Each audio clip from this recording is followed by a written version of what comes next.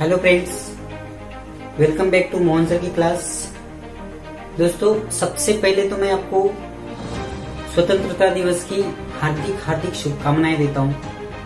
दोस्तों, इससे पहले आप लोगों ने स्कूल, कॉलेज या बहुत सारी जगह पे आप लोगों ने स्वतंत्रता दिवस के ऊपर बहुत सारी स्पीचेस सुने होंगे। उसमें आपने सुना होगा कि स्वतंत्रता दिवस क्या होता है, स्वतंत्रता दिवस क्यों मनाया जाता है, उसके लिए क्या किया गया था, कितने सारे देशभक्त शहीद हुए थे, ये सारी बातें आपने उसमें सुना होगा। लेकिन दोस्तों, मैं यहाँ पर आपको एक ऐसी चीज़ बताऊँगा, जिसे सुनने के बाद आप लोगों को भी ऐसा लगेगा कि नहीं, अगर ऐसा नहीं होता तो शायद हमारा देश डेढ़ सौ सालों तक गुलाम नहीं होता। और जो हमारे देशभक्त, हमारे देश पर कुर्बान हुए थे, उन्हें कुर्बानी देने की ज़रूरत नहीं पड़ती। तो दोस्तों, हम लोगों ने देखा होगा बहुत सारे स्पीचेस में यही बताया जाता है कि स्वतंत्रता दिवस क्या है, स्वतंत्रता संग्राम क्या है कैसे कैसे स्वतंत्रता संग्राम लड़ा गया, कितने शहीद उसके लिए कुर्बान हुए, ये सारी बातें। लेकिन दोस्तों, क्या आपने कभी ये भी सोचा कि ऐसा हुआ क्यों? स्वतंत्रता दिवस हम मनाते हैं स्वतंत्रता संग्राम हमने जीता, लेकिन क्या आपने कभी यह सोचा कि ऐसा हुआ क्यों? स्वतंत्रता दिवस मनाने का केवल उद्देश्य इतना नहीं होता है कि हम लोग स्कूल में गए या कहीं पर भी गए, स्वतंत्रता दिवस मनाए, शहीदों को याद किया, उसके बाद में अपने अपने घर में गए और भूल गए। दोस्तों, स्वतंत्रता दिवस मनाने के पीछे का उद्देश्य यह है कि हम उन शहीदों को तो याद करें, साथ ही साथ उनमें जो अच्छे गुण थे, उन गुणों को हम आत्मसात करें। जो गलतियाँ उस समय में हुई थी, उन गलतियों से हम कुछ सीखे और उन गलतियों को सुधारने की कोशिश करें और आज उसे हम आत्मसात करें। लेकिन ऐसा नहीं होता है।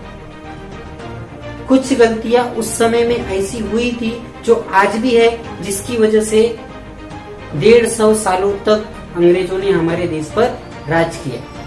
वो रीजन मैं आपको, वो कारण मैं आपको यहाँ पर बताना चाहूँगा। दोस्तों, वो कारण है कि हमारे देश में तब भी यूनिटी नहीं थी और आज भी यूनिटी नहीं थी। लेकिन हम लोग स्वतंत्रता दिवस मनाते स्वतंत्रता दिवस में ये सारी चीज़ें हमें बोलना चाहिए, हम सोचना चाहिए इस चीज़ के बारे में, लेकिन नहीं सोचते। आए, झंडा फट गए, चले गए, भूल गए। लेकिन दोस्तों, ये सोचने की बात है। अभी मैं बताऊँगा कि डेढ़ सौ साल तक अंग्रेज़ों ने हमारे देश पर राज क्यों किया और कैसे किया उसके पीछे का कारण क्या है? तो दोस्तों, यही रीजन है कि हमारे अंदर हमारे भारतीयों में, हमारे देश की जो जनता है, उसमें अभी भी एकता नहीं है और उस समय में भी एकता नहीं थी आपको मैं बता दू, आपको याद भी होगा कि दोस्तों, जब ईस्ट इंडिया कंपनी 1600 में 1600 में जब ईस्ट इंडिया कंपनी आई थी, तब वो हमारे देश पर राज करने के लिए नहीं आई थी, वो केवल और केवल बिज़नेस करने आई थी। बिज़नेस करने आई थी, लेकिन उन्होंने यहाँ पर देखा। उन्होंने यहाँ के लोगों को माइंड को स्टडी किया, उनके दिमाग का अभ्यास किया और उन्होंने जाना कि यहाँ के जो लोग हैं, वो एक दूसरे के दुश्मन बने हुए। ये राजा उसके ऊपर हावी होता है, वो राजा उसके ऊपर हावी होता है। दोनों एक दूसरे के प्रति दुश्मनी बनाए बैठे हैं, एक दूसरे के प्रति साजिश रचते हैं। वो उसके तरफ़ जाएगा तो वो उसके तरफ़ जाएगा, एक दूसरे का बुरा चाहते हैं। एकता किसी में भी नहीं था। यह यह राजा उसके ऊपर हमला करेगा, वो राजा उसके ऊपर हमला करेगा। इसी चीज़ का फ़ायदा अंग्रेज़ों ने उठाया।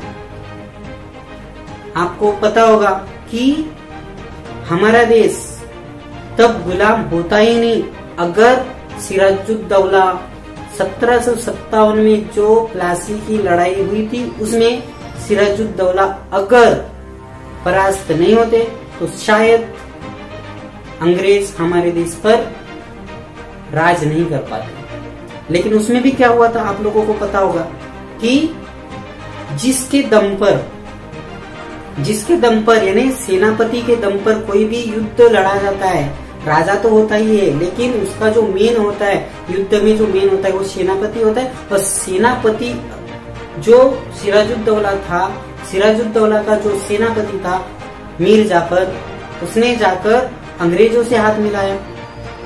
जबकि अंग्रेज़ों की सेना की बजाय सिराजुद्दौला की जो सेना है, वो दस गुना ज़्यादा थी। उसके बावजूद भी अंग्रेज़ों ने सिराजुद्दौला को परास्त किया। क्यों? क्योंकि उनके पास एकता थी, हमारे पास एकता नहीं। वही आज तक चलता आया है। उसके बाद में बहुत सारे आए, बहुत सारे लोगों से अंग्रेज़ों ने लड़ा। लेकिन क्या हुआ?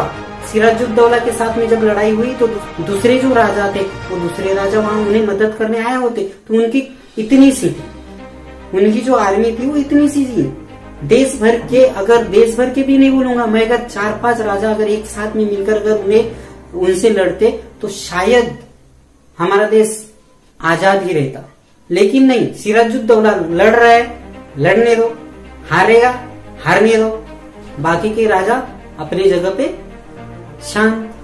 इसकी वजह से सिराजुद्दौला वहाँ पर हार गए। और उसके बाद में धीरे धीरे धीरे धीरे करते हुए अंग्रेज़ों ने पूरा भारत पर अपना वर्चस्व स्थापित किया। तो दोस्तों, ये है मेन रीजन हमारे इंडिया पर, हमारे भारत पर अंग्रेज़ों ने किस तरह से अपना वर्चस्व स्थापित किया।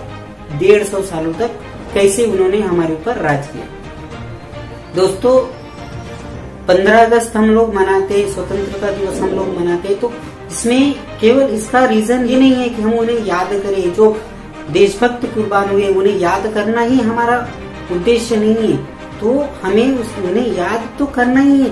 उसके साथ साथ हमें कुछ सीख भी मिलनी चाहिए। क्यों वहाँ पर इस तरह से प्रॉब्लम हुआ था? क्यों हमने डेढ़ सौ सालों तक उनकी गुलामी सही तो इसका रीजन अगर हमें आज पता चलता है तो हम लोगों को थोड़ा सा सुधरना चाहिए। उनके जो अच्छे गुण थे उन्हें हमें आत्मसात करना चाहिए और हमारे देश को आगे बढ़ाना चाहिए। आज हमारे देश की हालत वही है।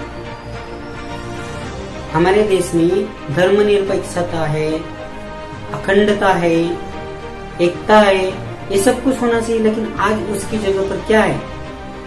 प्रांतवाद, जातिवाद, धर्मवाद इन सारी चीज़ों ने। जगह ले लिया है आज हर इंसान कहता है कि वो ये है, वो वो है, वो अमका है, वो धमका है। सॉरी मैं क्रांतिवीर का नाना पाटेकर नहीं लेकिन जो बता रहा हूँ वो फैक्ट है।